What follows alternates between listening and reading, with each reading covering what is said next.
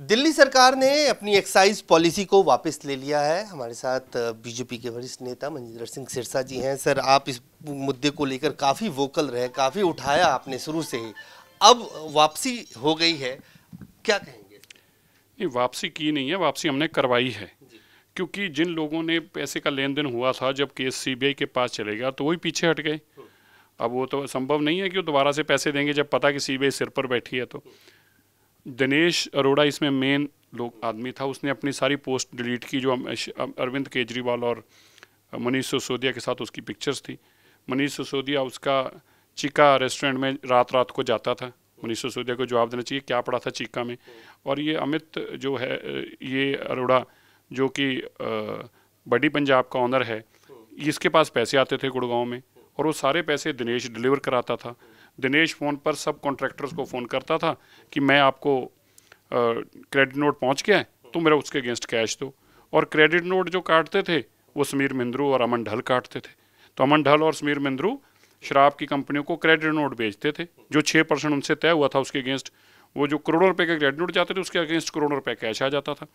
ठेकेदार को credit note मिल जाता था। इन्होंने छः परसेंट देना था, इसलिए कैश उठा लेते थे उससे।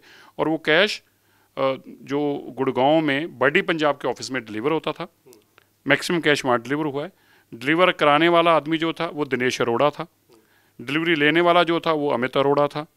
और बड़ी पंजाब जो है, उसको इन्होंने इतना बड़ा काम दिया कि जो एयरपोर्ट अथॉरिटी एयरपोर्ट का काम है, उसके सारे ठेके भी बड़ी पंजाब को दिए, जबकि वो एलिजिबल भी नहीं था। इसके बावजूद क्योंकि जो वहाँ का डायरेक्टर था जीएमआर का, उसने पार्टनरशिप करके और वो ठेके जो थे, बड़ी पंजाब के साथ मिलकर लिए।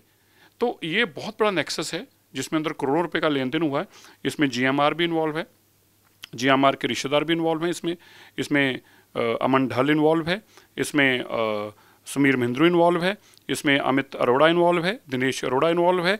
इसमें इसके अलावा जो महादेव वाइन्स वाले इन्वॉल्व हैं, इसमें बहुत सारी कंपनी लोग इन्वॉल्व हैं। और ये बड़ा पैसे का लेन देन जो होता रहा है, अब लोग मानने लग पड़े हैं। बहुत लोग मुझे क्रेडिट नोट दे के गए कि जी हमने तो इतने पैसे दिए थे। आप इसको एक्सपोज करने जा रहे हो? आज करेंगे अभी अरविंद केजरीवाल लगातार कह रहे हैं कि सेंट्रल एजेंसियों का दुरुपयोग करके आप देख लीजिएगा कुछ दिनों में मनीष सिसोदिया को भी गिरफ़्तार कर लिया जाएगा। क्या उनको इस बात का पहले से अंदेशा है कि जिस तरह से ये पॉलिसी बनी क्योंकि ये कहा जा रहा है कोविड जब पीक पे था तब इसको कैबिनेट ने पास किया देखिए ऐसा है उनको पता है क्योंकि उनके पैसे का लेन देन हुआ है। अब जब उसको पता है कि मनीष सिसोदिया को फलां आदमी पैसे दे के गया वो पोस्ट डिलीट की जा रही है इंस्टाग्राम से इसका मतलब उनको तो समझ आ गया ना कि चोर की दाढ़ी में तिनका भी हम फंस गए हैं।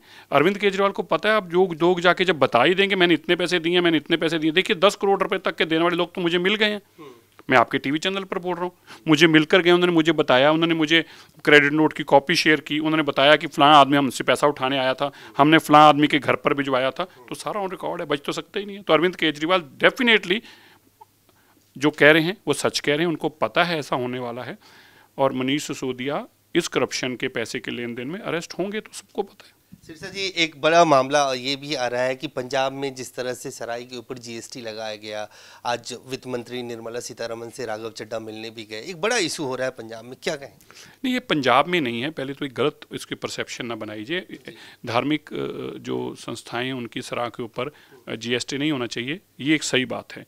धर्म को बढ़ावा हमें देना चाहिए हमें मैक्सिमम वो काम करने चाहिए जिससे धर्म का बढ़ावा हो और उन पर कोई टैक्स ना लगे ये तो हमारे सबसे पहले इम्पोर्टेंट है। लेकिन जो राघव चड्डा लेके गए हैं बात को, उनको शायद उनको इस बात की जानकारी नहीं है कि उनकी दिल्ली की सरकार भी हमारे से जीएसटी ले रही है। मैं राघव चड्डा को बताना चाहता हूँ। राघव चड्डा जी आपकी दिल्ली की सरकार अब तक हमसे करोड़ रुपए जीएसटी ले चुकी है। हम बार बार लिख कर दे रहे हैं लेकिन हमारा जीएसटी हमें नहीं छोड़ रहे। अच्छा होगा राघव चड्डा पहले अगर इस बात का जवाब दें। एक आखिरी सवाल नेशनल हेराल्ड को लेकर बड़ा मामला चल रहा है। कल पूरे कांग्रेस मुख्यालय पे दिल्ली पुलिस पहुँच गई। ईडी ने दफ्तर सील कर दिया नेशनल हेराल्ड का। अब राहुल गांधी कह रहे हैं कि मैं नरेंद्र मोदी से डरने वाला नहीं। तो भैया दो हज़ार करोड़ रुपए की प्रॉपर्टी डर से तो इकट्ठी नहीं की जा सकती। तो ठीक ही तो कह रहा है। पचास लाख में दो हज़ार करोड़ रुपए की प्रॉपर्टी लेने का अगर किसी के पास कर्तव्य या किसी के पास रिकॉर्ड है तो उसका नाम राहुल गांधी है। तो इसमें वो ठीक तो कह रहा है, वो डरेगा क्यों? दो हज़ार करोड़ की प्रॉपर्टी लेकर जो चंपत हो गया, अगर डरता ही होता तो देश के जो क्रांतिकारी लोग थे, जिन्होंने आज़ादी की लड़ाई लड़ी उनकी प्रॉपर्टी थी नेशनल हेराल्ड, ठीक है? उनकी प्रॉपर्टी लेके जो दौड़ रहा है तो नहीं डरेगा। हम तो खुद ही मानते अगर मोदी जी से डरता होता तो चोरी क्यों करता? Thank you. तो सिरसा जी कह रहे हैं कि अगर मोदी जी से डरते तो राहुल गांधी ये चोरी नहीं करते। कैमरा मैन आकाश के साथ अजय झा, दैनिक सवेरा, दिल्ली।